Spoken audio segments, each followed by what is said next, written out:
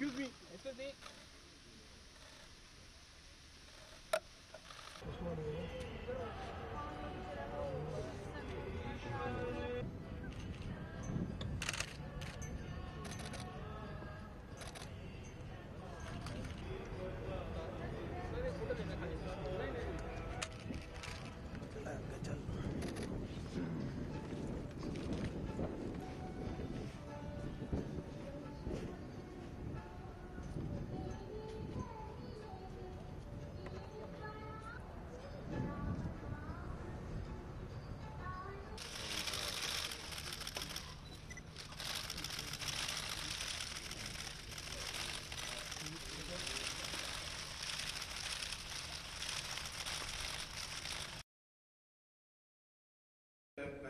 Excel from the Indian World Minister Shri Ibrahim Baylan, it's a pleasure to welcome you all to this dialogue. Uh, Salif Johansson from AstraZeneca, Mr. Kamal Bali from Wall Sweden, Professor Maria daughter from Karolinska, Ms. Nina Miranda from the Swedish National Innovation Council, Mr. Marcus Wallenberg, Chairman